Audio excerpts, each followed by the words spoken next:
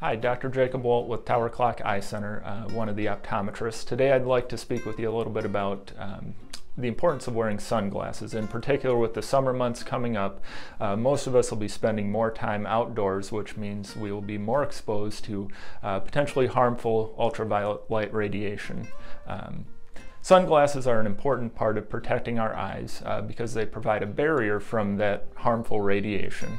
Uh, that radiation can contribute to worsening of conditions such as uh, cataracts, macular degeneration, or growths on the eye that can be both cancerous or non-cancerous. Um, there are a number of different options available for sunglasses, both polarized and non-polarized, but it's important to make sure that the sunglass lenses do provide adequate UV protection.